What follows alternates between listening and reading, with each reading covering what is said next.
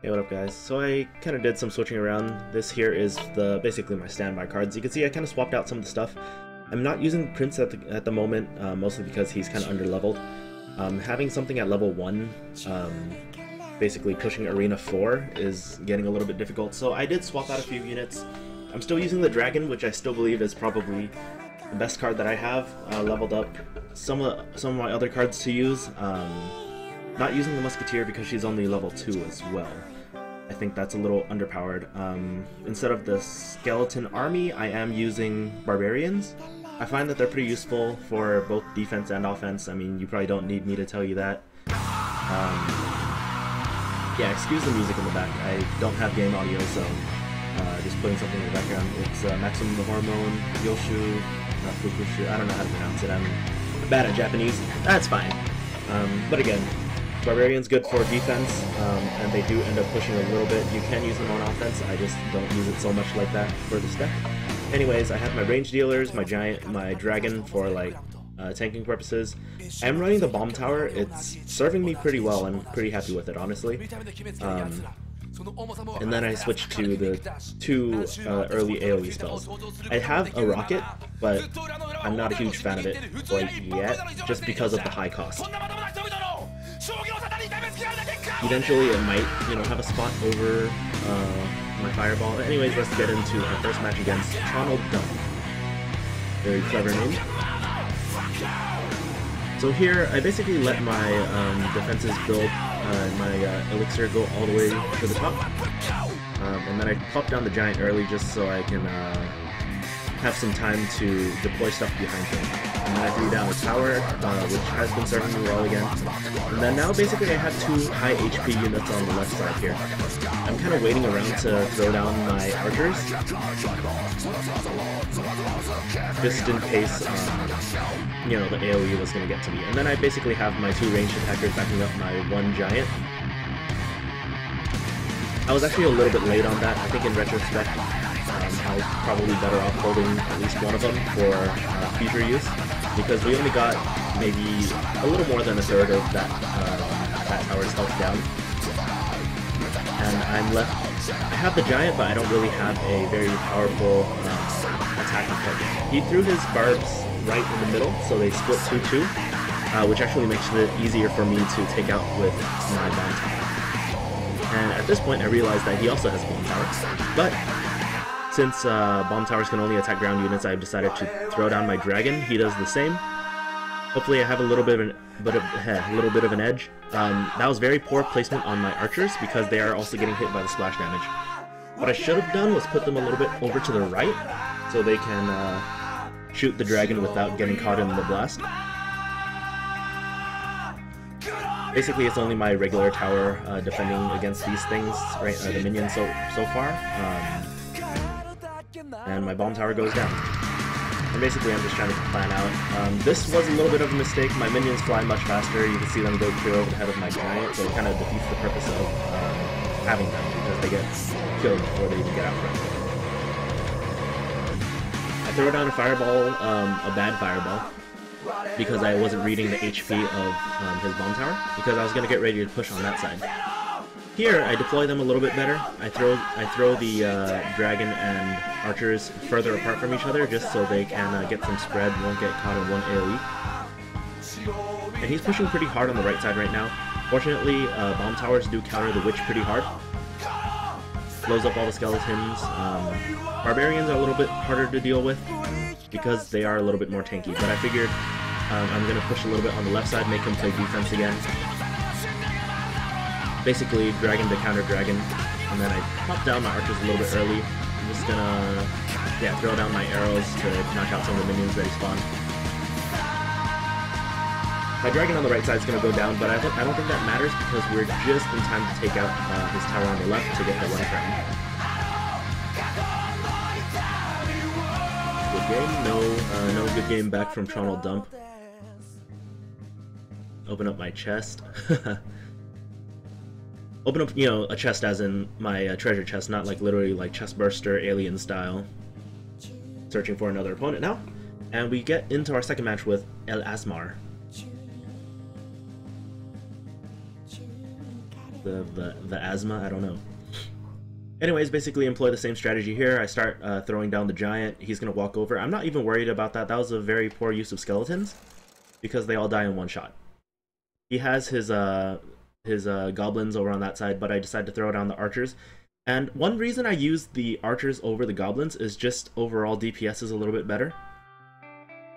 And basically, I was using um, I was using the javelins and um, the minions, but if I basically throw them on one side, they get wrecked by um, a single arrow deployment.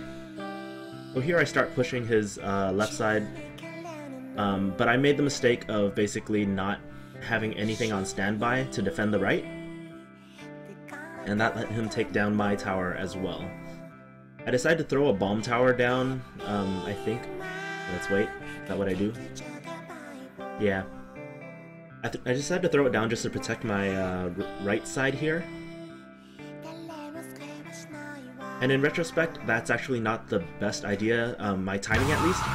Because right now, look, he threw down um, his prince, and basically my bomb tower is a little too far to do anything about it. So with the lack of units to defend, I basically threw down the minions to get them killed faster, which is fine. Our left tower was left with pretty low HP though.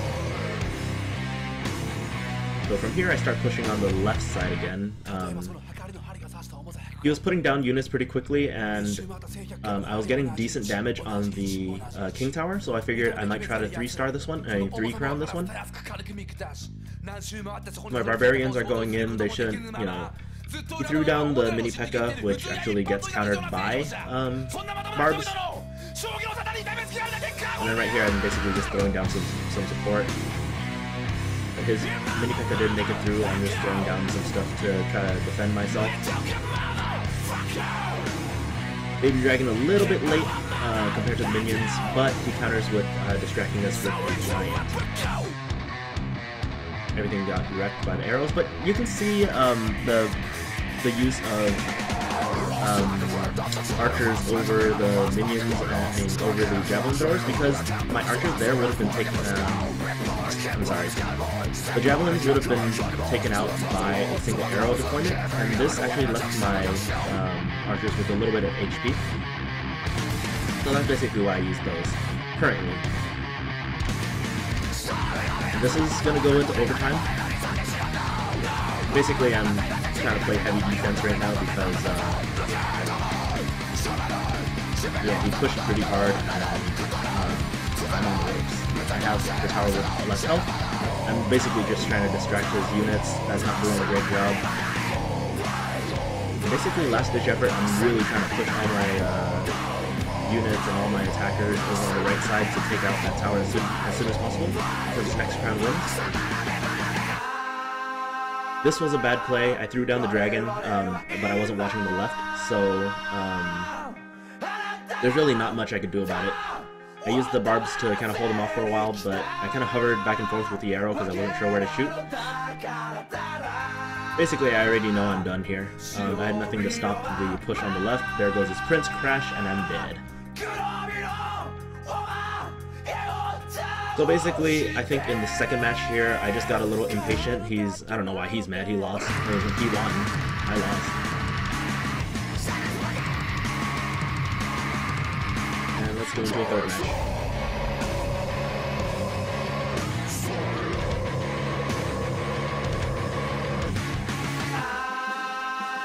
Pause for a second just to kind of go through my lights up here. Um, so looking at my beginning spawn units, I have basically my ranged attacker and the barbarians. I have a set of arrows to deploy if I need to, um, but those aren't going to take out any uh, tanky heavy units that he's going to be sending at me. Um, my next unit there is a dragon, so what I can do is throw down a weak unit and then throw the dragon in front of it to help me tank, and I think that's what I do. I'm not too worried about the javelins on the right side. Um, they do die in two hits, and I think my single tower, uh, sacrificing a little bit of health and you know saving up the elixir to push on the left was a little bit, a bit of a better idea. So I think that's what I do. I think I put down the archers on the yep on the left side there, and then I throw the dragon out front.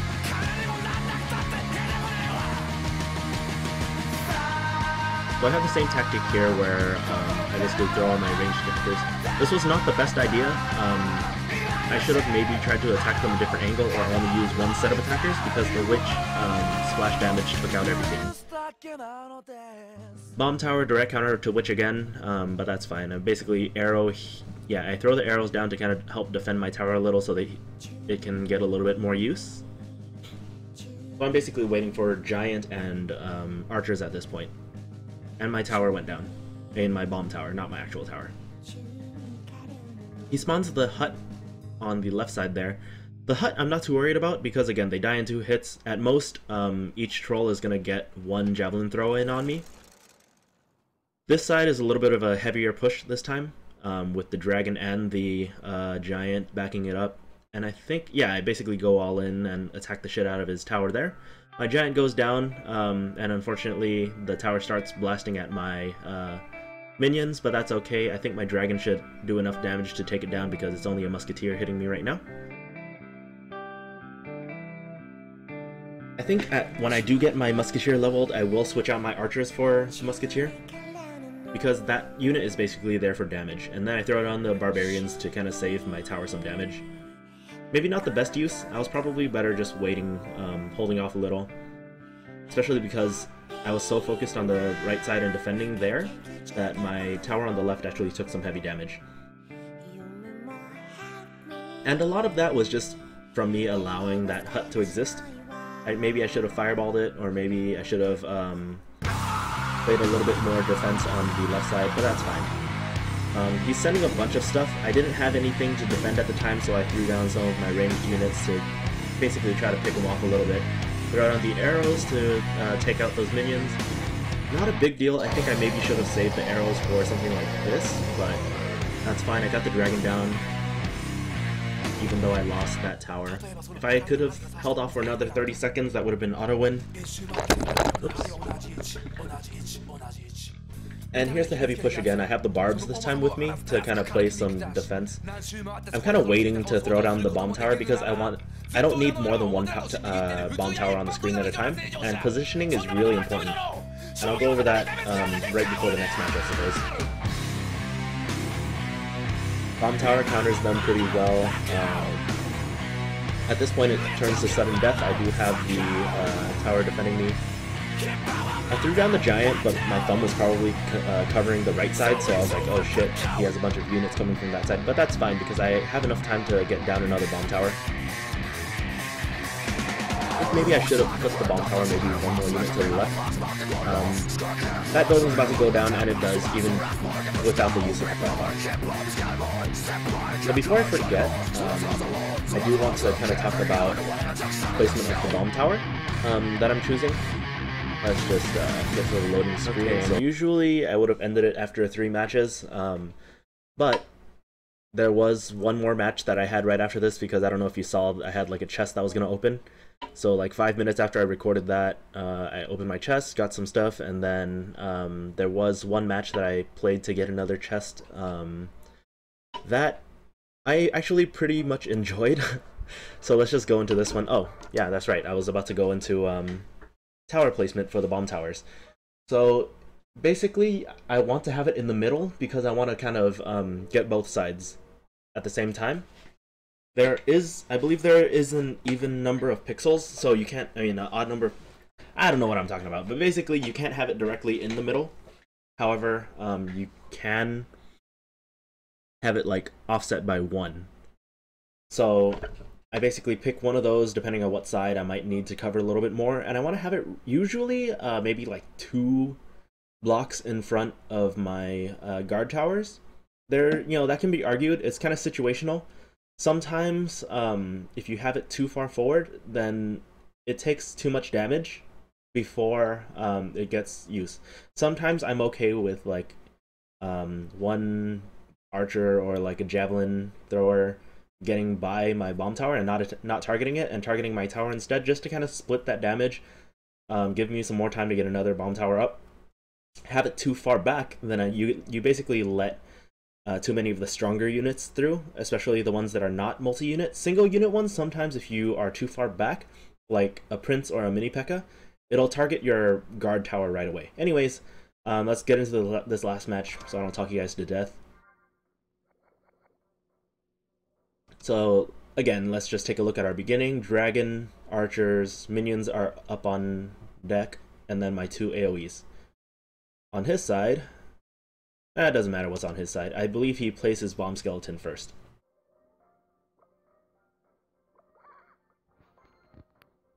So I played my archers to get a little bit of uh, coverage. And then I noticed that he does throw down his bomb skeleton, um, throw down more stuff here. And then I throw a fireball over just to kind of help um, do some damage. Throw down the barbs because I don't want that bomb exploding anywhere near my towers. That bomb actually does a pretty solid, uh, solid chunk of damage. I'm just waiting to get my bomb tower up but I noticed that he throws down a dragon, so a better counter would be to throw another dragon since your bomb tower can't target the dragon. And the reason it being is basically that his dragon was already locked onto my guard tower. And here's the same strategy I, I employed previously where I'm basically, uh, I th throw down one tank and my two uh, ranged units. Wasn't the greatest use of arrows, admittedly. So right now, um, he is up on Elixir. I kind of had had the feel for that. I played more units, um, kind of unnecessarily. But basically, I had I had a little bit more damage, so I, I guess we're still a little bit even. And this is something that I did different, um, which is an improvement over my previous games. I I did throw the uh, bomb tower a little bit more forward. I think maybe one block further back would be fine. Um, just to get a little bit better coverage to draw them into your uh, arrow range before they start attacking. Um, but you saw in one of my other matches where I basically um, threw down the bomb tower when nothing was attacking yet. As long as your elixir is still filling, um, there's really no reason to put it down early because um, buildings are on a timer. So I waited until his units got across this time to throw down my um, bomb tower. And it's not a big deal. I mean, it's not a big tip. It's probably kind of obvious to most people. But again, let's get into it. Uh, bomb tower hitting there. And then I basically try to split up my units. That didn't go as planned. Um, his dragon actually turned around and started hitting my archers. I was expecting the dragon to target the bomb tower a little bit more. Unfortunately, I did let the big skeleton get a little bit too close, and it did drop a bomb which took like 700 health off my left tower there. So there he throws down the, uh, the giant behind me and then a bunch of stuff to back it up. I throw down the barbs, but I basically threw down the barbs before I realized he had a skeleton army behind him. But I reacted with a bomb tower and that's fine. Dragon on dragon again. In this case, I should win.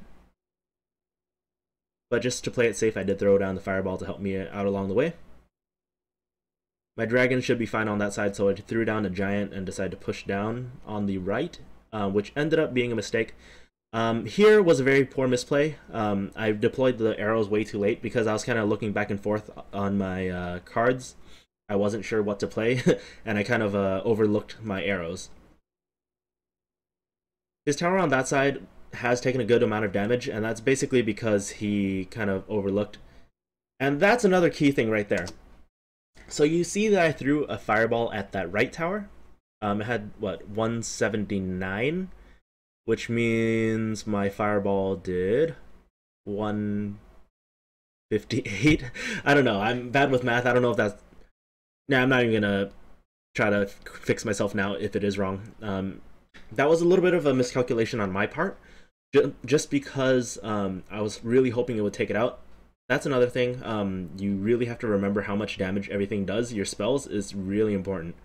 Um, because now he basically is pushing hard on the left side. And this is the reason why I like this match so much, because I basically stole the win. Everything set up here, he should have won by uh, 3 crowning me. But look what I have. More arrows. Which does just enough damage to take out the left side and the right side. He says, wow. I say good game. And that's basically it. And again, I'm still kind of learning the game. Um, hopefully, hopefully these videos are like at least entertaining. Um, if they're not helping you, they're probably not. um, at least they're kind of giving me some insight while I kind of commentate over um, the things that I'm doing, my decision making, and kind of making me realize where I need to improve in my game. Um, I need to pay attention to the field a little bit more. I uh, overextend myself. Anyways, I'm not trying to let this video get too long. So hopefully we'll get back into it with a better deck next time. I'm okay with the units that I have, but hopefully I can level up some of the units that I would like to use and further improve from there. Anyways, uh, like and subscribe if you wish. If not, that's fine.